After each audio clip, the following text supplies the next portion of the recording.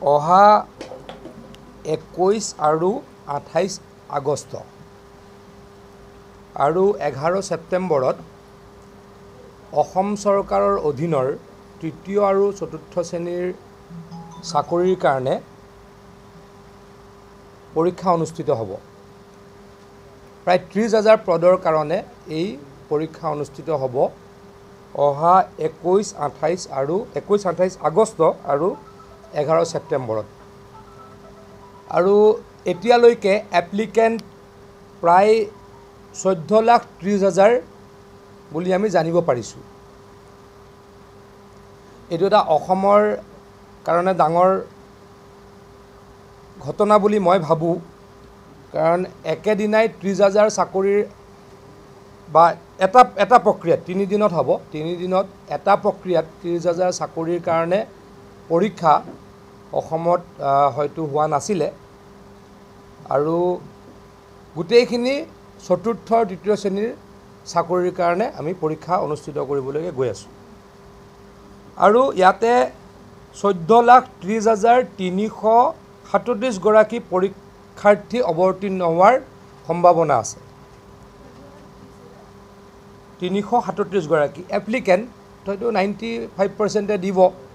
অলপ হয়তো নিদিব পাৰে কিন্তু মেক্সিমাম এইখিনি এপ্লিকেণ্ট চৈধ্য লাখ ত্ৰিছ হাজাৰ তিনিশ সাতত্ৰিছজন এপ্লিকেণ্ট পষ্ট ত্ৰিছ হাজাৰ আৰু পষ্টখিনি হৈছে থাৰ্ড গ্ৰেড আৰু ফ'ৰ্থ গ্ৰেডৰ চাকৰিৰ কাৰণে। পৰীক্ষা অনুষ্ঠিত হ'ব একৈছ আঠাইছ আগষ্ট আৰু এঘাৰ ছেপ্টেম্বৰত।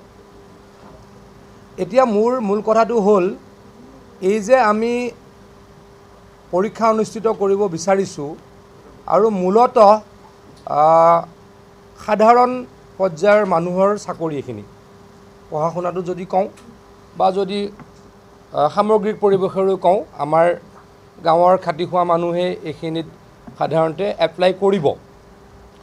এই পৰীক্ষাৰ সময়তে এটা বিৰূপ কাৰ্যকলাপ আমি প্ৰত্যক্ষ কৰিছোঁ। এইটো হৈছে কাৰ নামত আন্দোলন কৰি অসমক আকৌ অসমীয়াক অসমক বিপথে পৰিচালিত কৰাৰ কাৰণে এটা প্ৰক্ৰিয়া আৰম্ভ হৈছে। মই যোৱাকালিও কৈছিলোঁ যে কাৰোবাৰ মতাদৰ্শ সকলোৰে বেলেগ বেলেগ। আমি এটা মতাদৰ্শৰে কাম কৰোঁ আৰু অন্য কিছু মানুহে বেলেগ মতাদৰ্শৰে কাম কৰে। আমি মতাদৰ্শৰ পাৰ্থক্য সকলোৱে থাকিব পাৰে কিন্তু কাকো অসন্মান নকৰোঁ। কিন্তু ভুৱা কথা মিছা কথা কৈ অসমীয়া মানুহক পিছুৱাই লৈ যোৱাৰ কামটো কোনোৱে যাতে নকৰে তাৰ কাৰণে মই আহ্বান জনাম। এটা উদাহৰণ মই কৈছোঁ মই যোৱাকালিও কৈছিলোঁ যে কা যিদিনাখন সংসদত আইন হিচাপে পৰিণত হৈছিলে। চি এ বি যিদিনাখন চি এ এ হ'ল। সেইদিনাখনেই ঘোষণা কৰা হ'ল অসমত আঢ়ৈ কোটি বাংলাদেশী মানুহ আহিব। বাংলাদেশী হিন্দু আহিব। আৰু ট্ৰাকে ট্ৰাকে আপাৰ আছামলৈ বা অন্য জেগালৈ বাংলাদেশী গৈ বাংলাদেশী হিন্দু গৈ গোটেই মাটিবিলাক দখল কৰি ল'ব বাগানবিলাকো দখল কৰিব বুলি কোৱা হ'ল ৰাস্তা পথ ক'তো জাগাই নাথাকিলে হয়। আৰু এনেকুৱাকৈ হোৱাটছআপত মেছেজ দিয়া হ'ল আজি ৰাতিৰ পৰাই মানে সেইখিনি সময় কৈছোঁ মই। মই ঊনৈছ দহ আগ ডিচেম্বৰ ঊনৈছ দুহেজাৰ ঊনৈছ চনৰ কথা কৈছোঁ। আজি ৰাতিৰ পৰা আহিব আৰু আজি ৰাতিৰ পৰাই মানুহে ৰাস্তাত ট্ৰাকবিলাক পাঞ্জাৱ বডি ট্ৰাকবিলাক ভেটিব লাগে। তেনেকুৱা এটা পৰিৱেশ কৰি দিয়া হৈছিলে। কিন্তু পৰ্যায় পৰৱৰ্তী সময়ততো তেনেকুৱা একো নহ'ল। আৰু সকলোৱে জানে যে চি এ কাৰ কাৰণে অনা হৈছে। যিসকল মানুহ সেইটো মই আকৌ অৱতাৰণে ক'ব নোখোজোঁ। অলৰেডি ভাৰতবৰ্ষত বহুত দিনৰ পৰা আছে। তেওঁলোকৰ কাৰণেহে অনা হৈছে বা অনা হ'ব। সেইটো এটা বেলেগ প্ৰক্ৰিয়া। কিন্তু বিপদে পৰিচালিত কৰা কথাটো হ'ল কি যে এনেকৈ কৈ দিয়া হয় কা বলবৎ হ'লেই কৌটি কৌটি বাংলাদেশৰ পৰা হিন্দু মানুহ আহি যাব।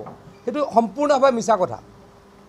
গতিকে মই আকৌ কৈছোঁ মতাদৰ্শৰ পাৰ্থক্য থাকিব পাৰে। মোৰ এটা মতাদৰ্শৰে মই আমি চলোঁ বা অন্য কিছু ব্যক্তি অন্য মতাদৰ্শৰে চলে। কিন্তু মিছা কথা কৈ অসমক অসমৰ ৰাইজক বিভ্ৰান্ত কৰিব নালাগে অসমক পিছুৱাই লৈ যাব নালাগে তাৰ কাৰণে সকলোকে মোৰ আহ্বান আৰু মই সকলোতকৈ গুৰুত্ব কোনটো বস্তুত আজি দিব খুজিছোঁ যে আমি অহা একৈছ আঠাইছ আগষ্টত আৰু এঘাৰ ছেপ্টেম্বৰত আমি এটা খুব ডাঙৰ নিয়োগৰ কাৰণে কাম কৰিবলৈকে গৈ আছোঁ। ত্ৰিছ হাজাৰ থাৰ্ড গ্ৰেড আৰু ফ'ৰ্থ গ্ৰেডৰ চাকৰিৰ কাৰণে আমি পৰীক্ষা পাতিবলৈ গৈ আছোঁ পঁচিছখন জিলাত। এই নিয়োগৰ ক্ষেত্ৰত যাতে বেমেজালি কোনো নকৰে তাৰ কাৰণে মই সকলোকে অনুৰোধ জনাম আহ্বান জনাম সতৰ্ক হ'বলৈকে আহ্বান জনাম। আকৌ কৈছোঁ থাৰ্ড গ্ৰেড ফ'ৰ্থ গ্ৰেড আমাৰ সাধাৰণতে খাটি খোৱা মানুহখিনিয়ে চাকৰি বিচাৰিব।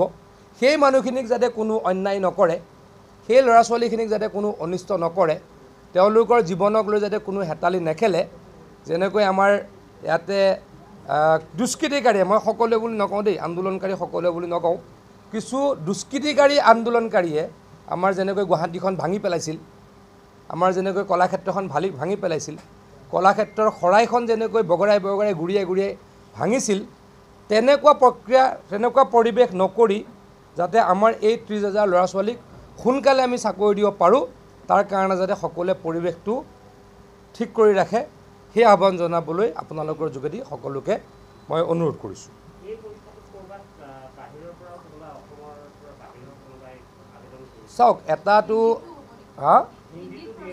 এটা পাৰ্চেণ্টেজটোতো আপুনি যদি দিল্লীটো যদি আজি চাকৰি হয় এটা পাৰ্চেণ্টেজ অসমৰ মানুহেও এপ্লাই কৰিব পাৰে। আমি বাৰে বাৰে এইটোৱে ভুল কৰোঁ। অল ইণ্ডিয়াৰ কাৰণেও এটা পাৰ্চেণ্টেজ থাকে। মই একজেক্টলি পাৰ্চেণ্টেজটো নাজানো। ইউ পিটো এটা পাৰ্চেণ্টেজ অসমৰ মানুহে এপ্লাই কৰিব পাৰে। সেইটো কথা আমি কিয় পাহৰি যাওঁ? সেই কথাটো আমি কিয় পাহৰি যাওঁ? আজি যে এটা পাৰ্চেণ্টেজ মই একজেক্টলি পাৰ্চেণ্টেজটো নাজানো। আপোনালোকে এইটো মোক সোধা বুলি ক'লে মই প্ৰিপেয়াৰ হৈ আহিলোঁ হয়? এটা পাৰ্চেণ্টেজ অসম অসম চৰকাৰৰ বা ভাৰতবৰ্ষৰ প্ৰত্যেক চৰকাৰৰ অল ইণ্ডিয়া লেভেলত এপ্লাই কৰিব পাৰে। এতিয়া কোনোবাই গৈ ইউ পিটো পাৰে অসমৰ ল'ৰাই। সেইটো আমি কিয় পাহৰি যাওঁ?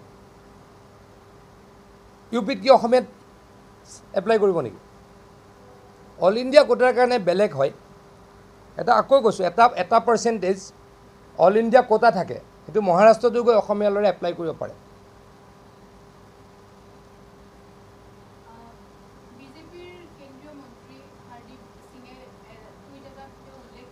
মই আজি এইটো এইটোৰ পৰা বেলেগত নাযাওঁ। প্লিজ নাযাওঁ প্লিজ নাযাওঁ কালি কৈ দিম।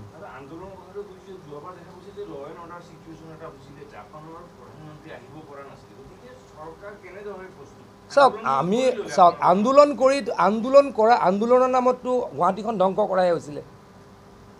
মই আজি কাকো কৈছোঁ মই আন্দোলন সকলোকে কোৱা নাই দেই মই আপোনালোকে প্লিজ এটা কৈছোঁ।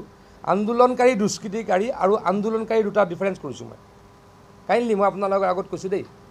আন্দোলনকাৰী প্লাছ দুষ্কৃতিকাৰী। আন্দোলনকাৰী দুষ্কৃতিকাৰীও কিছুমান সোমাই গ'ল। আৰু কিছুমান আন্দোলনকাৰীয়ে সতৰ্কও আছিলে সেইটো মই অস্বীকাৰ কৰা নাই। সেই দুষ্কৃতিকাৰী আন্দোলনকাৰীসকলে গুৱাহাটীখন ভাঙিলে। কিমান ধুনীয়াকৈ গুৱাহাটীখন আমি সজাইছিলোঁ সেইখিনি সময়ত। জাপানৰ প্ৰয়াত সদ্য প্ৰয়াত সেইখিনি সময়ৰ প্ৰধানমন্ত্ৰী আহিব বুলি। তাৰপাছত মই আকৌ কৈছোঁ শৰাইখন যেতিয়া ভাঙি গুৰিয়াই গুৰিয়াই ভাঙিছিল তেতিয়া অসমীয়া গাত লাগিছিল চাগে। আৰু সেইকাৰণেই এই আন্দোলনটো বেছিদিন নিটিকিল এইবিলাক কাৰণত। আৰু আমাৰ মতাদৰ্শৰে থাকি আমি নিৰ্বাচনত জিকিছোঁ। অহংকাৰ নহয়। আমি মতাদৰ্শত অটল হৈ থাকি নিৰ্বাচনত জিকিছোঁ। গতিকে মই আকৌ কৈছোঁ কালিও কৈছোঁ আজিও কৈছোঁ মতাদৰ্শৰ পাৰ্থক্য আছে। মতাদৰ্শৰ তেওঁ আমাৰ মতাদৰ্শ বেলেগ আৰু কিছু ব্যক্তিৰ মতাদৰ্শ বেলেগ। কিন্তু মতাদৰ্শক প্ৰতিষ্ঠা কৰিবলৈ গৈ আদৰ্শ তেওঁলোকৰ আদৰ্শক প্ৰতিষ্ঠা কৰিবলৈ গৈ এই ত্ৰিছ হাজাৰ চাকৰি পাবলগীয়া চাৰে চৈধ্য লাখ ল'ৰা ছোৱালীক যাতে পণ্ড পণবন্দী নকৰে তাৰ কাৰণে মই সকলোকে আহ্বান জনাইছোঁ।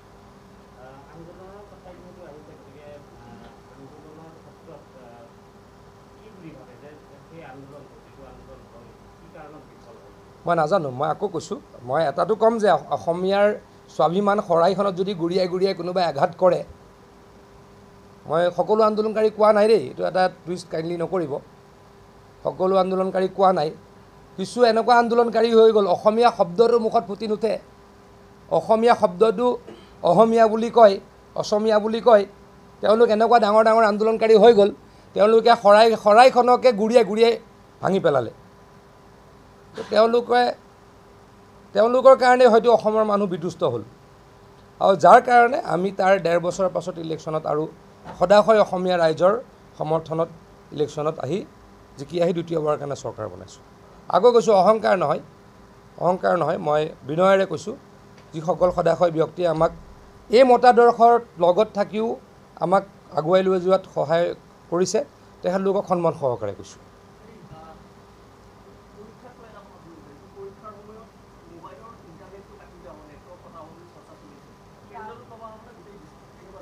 মই বহুত ডিটেইলছত নাজানো মই চেক কৰি ল'ম তাতে ইছ্যু হয়।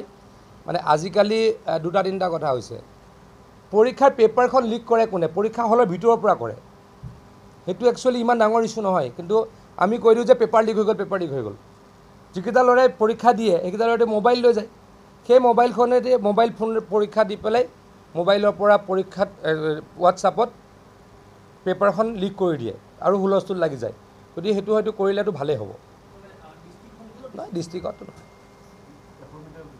এৰিয়াত হ'ব তথাপিতো কৈছোঁ মোবাইলটো এতিয়া এনেকুৱাটো আৰু খানা তালাচী নহয় কোনোবাই লৈ যায় দুষ্ট মানুহে লৈ যায় ৱাছৰুমত গৈ বাথৰুমত যায় তাৰ পৰাই ফটো মাৰি পেলাই হোৱাটছআপত দি দিয়ে। আৰু সেইটোকে লিক হোৱা বুলি কয়।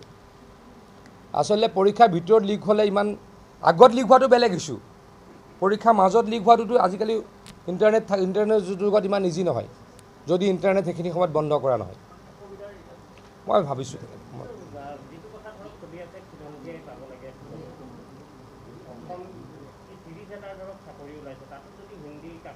মই আপোনাক এটা কথা কৈছোঁ আপুনি এটা আমি দেশৰ নিয়ম কানুনেৰে চলিব লাগিব law of the country constitution মতেতো চলিব লাগিব।